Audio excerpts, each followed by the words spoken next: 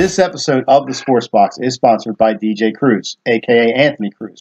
For all your DJ and event planning needs, call Anthony at 609 513 6395 and mention you saw him on the Sports Box. Well, hi, and welcome to the show that just keeps making you coming back for more. This is the Sports Box, where the only opinion that matters, it's right here. And I am with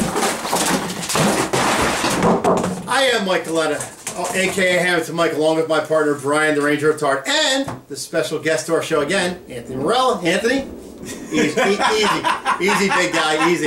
Brian, how did Christ are you today? Ah, fantastic, sir. How are you? Oh, I'm just living a dream over here. Now that Anthony just gave me a flex, I'm even I'm even more sick to my stomach. But anyway, let's get to it. We are going to talk about the 2017 Royal Rumble. It's the 30th anniversary. We're going to kick it off. We're going to talk about some matches. Gentlemen, help me out a little bit with some wrestling. I Let's do appreciate it. That. Easy. Uh, anyway, um, let's talk about the first match: Kevin Owens versus Roman Reigns. Thoughts, guys? So this is a WWE Universal Championship match. The stipulation here is that uh, Kevin Owens' best friend, Chris Jericho, will be suspended above the ring in a shark cage. Yep. Shark cage. This is this is writing today. I'm liking the show. I, I know. Well, they're taking a page out of NXT's book. Correct. So this was I done. mentioned that already. Yes, this was done in NXT. The Authors of Pain, uh, H- H- Paul Ellering was abo- suspended above the ring, dropped something to them. They, you know, all that then and there. So probably, I guess, a similar. Do you um, see something? sim- I was going to ask that. I, I probably think this is a kind of similar ending, Okay. but I think so. I don't know how you feel about this. In my opinion, Roman Reigns wins this match. yep, absolutely. I think Roman Reigns wins the championship here. I don't want him to win the championship here, but he's going to win the championship here, and I think that that puts you know Owens and Jericho on uh, on a path to face each other at WrestleMania for Jericho's newly established, newly won uh, United States Championship. But um, do you see anything that would differentiate from that? No, absolutely not. I, I see something happening. Jericho somehow finds a way to screw it up for Kevin Owens. Yes. There goes their long-standing friendship.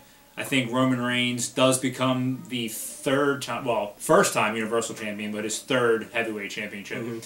Um, and then he kind of sails off to WrestleMania to face the winner of the Royal Rumble, Chris Jericho, Kevin Owens. That leads to a match with them two at Royal Rumble.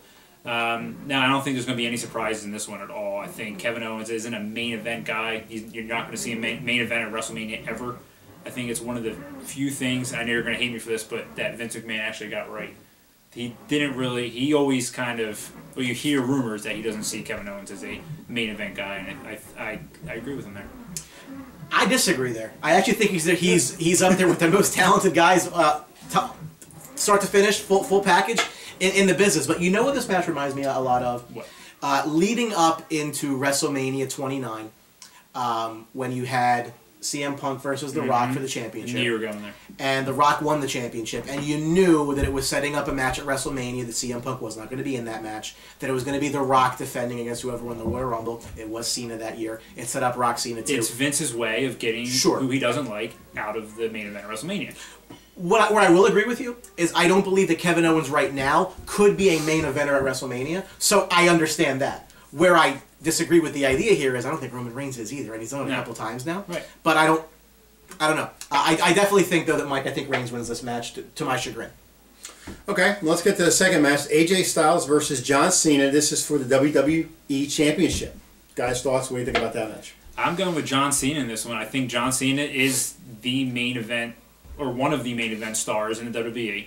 I think you're going to see him take on a very, and we'll get to this later, a very long-standing um, main eventer in in wrestling, and I will give you my Ro- Royal Rumble pick later in the show. So stay tuned. I love the main But- eventer. That's great. Yeah. It's the only vote The main event. the eventer. sports box. That's We, we great. talk a lot of wrestling. we, we? we do. It's a main event show. That's right. I just trip over myself, and you guys throw out new words. straight. I love it. So yeah, Cena wins this one. Um, AJ Styles drops the belt, setting himself up for a match at WrestleMania with, well, we don't know yet. So the interesting thing about this match to me is I think that this match has more of an impact on who wins the Rumble than the Kevin Owens Roman Yep. Reigns match what does because I think that Reigns it's a fait accompli. I think he's going to win that match. Cena versus Styles is going to be very interesting to me because really, you know, again, they're trying to build towards a really massive show at WrestleMania.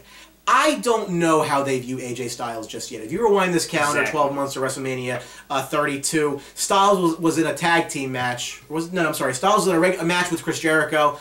You know, not really promoted overly well. It was just a match that was on the show and nothing really going on there. I apologize for the, the mess up there. So I, I think that I think I know where you're going with with, with the uh, the reference there, but um, I think if AJ Styles wins this match, that has an impact on who wins the Royal Rumble or who doesn't. You can't have AJ Styles as the main event at WrestleMania. It's too fast of a, of a rise for him.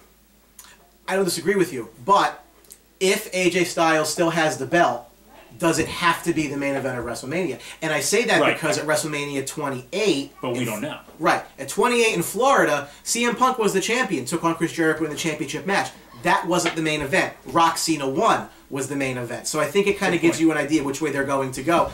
I don't disagree with you that I don't think you can put AJ Styles at his second WrestleMania as the main event of WrestleMania. I think if Styles wins this, I think that you probably see Goldberg and Brock Lesnar in the main event of WrestleMania. Dun dun dun.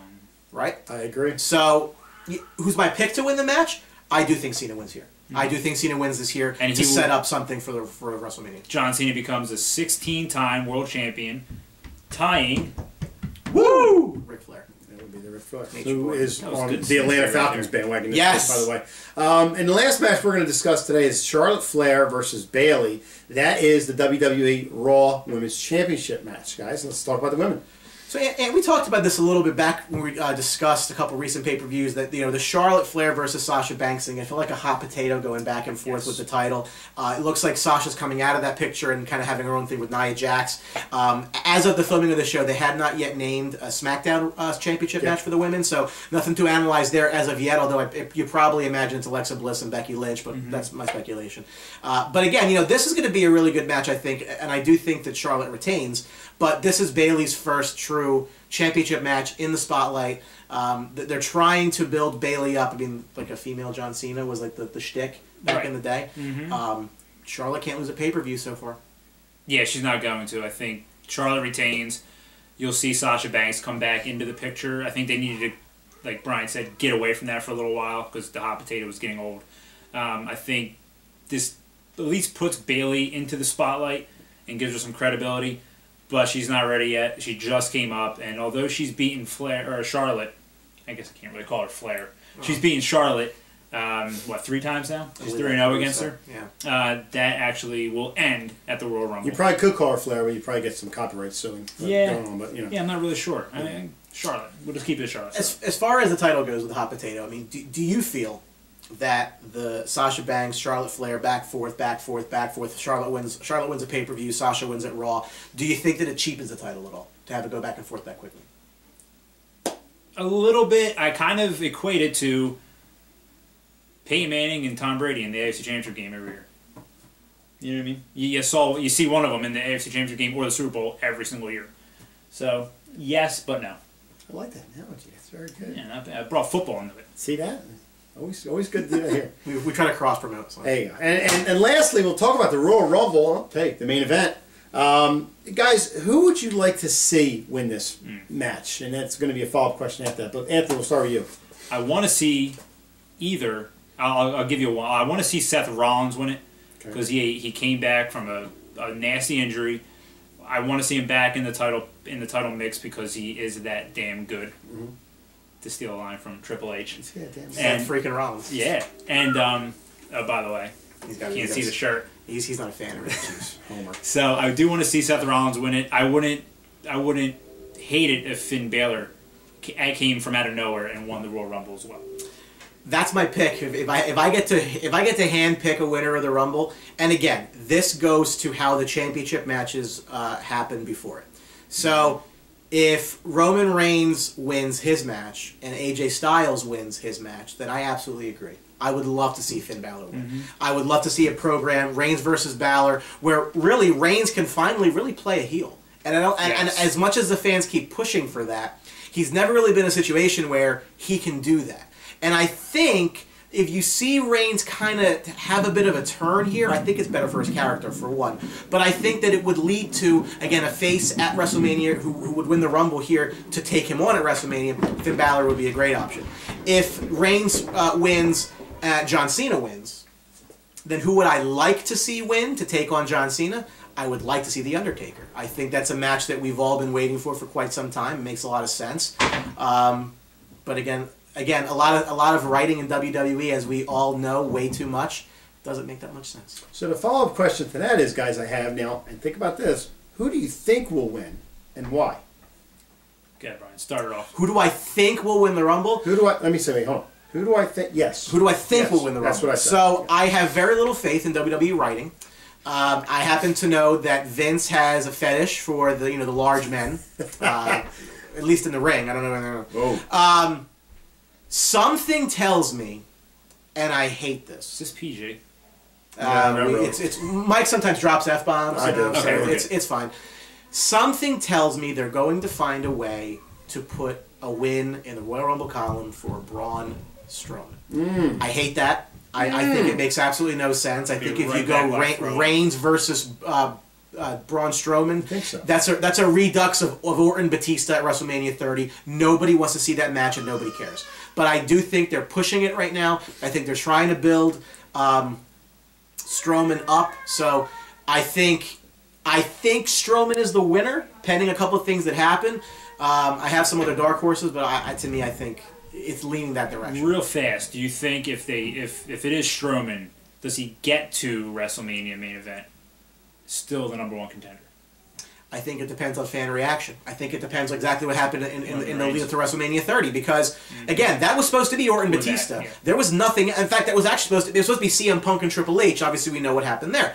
Um, you know, they, they really kind of put Bryan in that match because they realized very quickly nobody really cared to see Randy Orton and Batista fight at the main event of WrestleMania 30. So, you know, Awful. Right. So from that standpoint, I don't think Strowman makes a lot of sense personally from longer term booking, but I could totally see it happening. I also think it's too soon to have um, Braun Strowman in there. I'm going to say Batista. Oh, to have Braun Strowman in there. Uh, he's another one that kind of just came onto the scene and is actually making some waves. He just had a feud with Sami Zayn. Like I don't think they're going to put him in the main event that quickly at WrestleMania. I think if you give it a year and you build him up even more, and he has some matches against some better talent, sure. But I, I get where you're going with it, but too soon. to your point, again. to your point about that though, I agree that it's too soon. But if you look at the way they've been booking Raw lately, not too long ago, you saw in the ring all at one time Brock Lesnar, Roman Reigns, Seth Rollins, and Braun Strowman. Right. So it's like they're trying to elevate him into that discussion to make something like this make some sense. Um, I I hate to see it happen, frankly. I, At I, least, I don't if, like it. at least if Braun loses, he has the bread route to fall back on. I mean, that's that's always a good thing. anyway, guys, the last thing we have is the is your favorite Royal Rumble moment. Favorite Rumble moment. You're Before pointing. we do that, you're pointing. Yes, I'm ahead. pointing Go ahead. because I want to give you my pick. Okay, go ahead. I think the Undertaker wins. I do. I think um, this sets up his final match WrestleMania, and he goes out. He loses to John Cena. Or no, it wouldn't. Yeah, it would be Cena. Yeah, Mhm. he's on Uh, SmackDown. assuming Cena wins the title. yes, Yep. assuming Cena wins the title, and then that's their match at WrestleMania, which we did talk about in the, in the last episode as a potential match. Mm-hmm. We just didn't think it would be the main event. Can I give you a Can I give you a nightmare scenario with that? Mm-hmm. So a nightmare scenario is you're right. The Undertaker does win the Rumble, and Roman Reigns wins the belt, and then you have Roman Reigns in the Undertaker's career because that's what Ugh. WWE wants to do is push Roman Reigns. Because technically, and I understand, Undertaker came back to SmackDown, but he's mm-hmm. been on Raw. Yes, you're right. So if he goes Oh, back right, to win the universe to go for the Universal. Championship, if it's Reigns, God, I, I mean, I don't think uh, if Roman Reigns beats the Undertaker, that's just n- n- no bueno. So to repeat the question, Let's go. Your your favorite Royal Rumble moment, Brian. We'll start All with you. time. All time. All time. Um, my honorable mention is the Undertaker versus Yokozuna No, we in didn't the, say cas- honorable in the mention. Casket we match, said but it favorite. wasn't a Royal Rumble match. it was at the Nice. Royal It a Rumble. moment. Great with the casket match there and how that ended. Um, however, same show is my all-time favorite moment, which is Bret Hart and Lex Luger uh, going over the top at the exact same time, which I'm sure takes a lot of practice to get them to land at exactly the same time in an era of instant replay.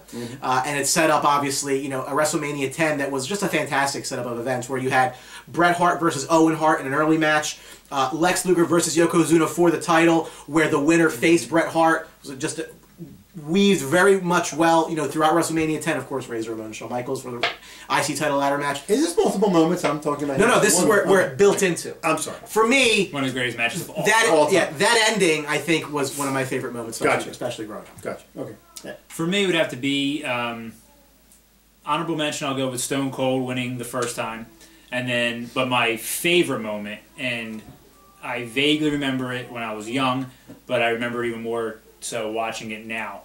On the WWE Network for only on- nine ninety nine. Yeah, there you go. There's a plug. So, Shawn Michaels when he won the first his first Royal Rumble, he had British Bulldog eliminated, or I'm sorry, British Bulldog had eliminated him. Yes. His both feet did not touch. He gets back in while Bulldog is on the is on the turnbuckle. There goes Bulldog. Shawn Michaels goes to WrestleMania, WrestleMania 12 Mhm. for the belt in the Iron Man match. It was just perfectly sequenced. Don't you miss that writing? I do. God, I miss it. I miss that writing. Well, I want to thank you guys for, uh, especially Anthony, for coming on the show, help us out with it. I love it. Rumble. You don't want to thank me? Not really, because I always see you all the time. So anyway, um, that, guys, thanks for watching. We appreciate it. We always got good stuff coming. Absolutely. Uh, we want to thank all of our subscribers. We can't thank you guys enough. Over 500 at, at the time of filming today. Thank you guys so, so very much. Yep. Uh, make sure you're watching all of our content, and the best way to find it is through our social media outlets. Uh, we're on Facebook at Sportsbox Show. We're on Twitter at Sportsbox Show. And the YouTube channel, as I said, if you haven't yet subscribed, you're going to see a Sportsbox logo come up right about where Ant's face is right now. Yeah. Uh, you're able to subscribe right through there. Just push his face. Yeah, that's all. Just hit it, hit it in the face Yeah. with it with a steel chair if you need to. There you go. Um, and go ahead and subscribe to the Sports Box. We can't thank you guys enough, but you know, keep an eye out for us. We're going to have a lot of great content coming out through the rest of the year as well. And you know, uh, th- uh, thanks to our sponsor on the show, DJ Cruz. You saw his ad in the beginning. Don't worry about it. Just give him a call. He's a great guy. Um, and and remember, at the Sports Box, the only opinion that matters, Anthony, Right here, baby. it's freaking right here. If you hadn't figured that out by now, I don't know what you're thinking. I mean, Ant knows, so should you. exactly. See you. January 29th. That's it. Royal See you. Don't forget to subscribe.